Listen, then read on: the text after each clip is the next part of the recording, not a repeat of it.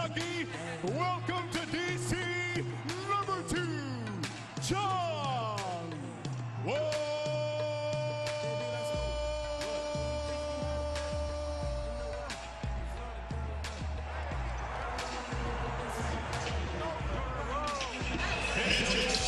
You see, Phil, once he gets over his shyness, he's going to be something else, isn't he? He's so reserved. We enjoyed the public address announcing from new announcer Ralph Wesley. And the Wizards in their home opener here at Verizon Center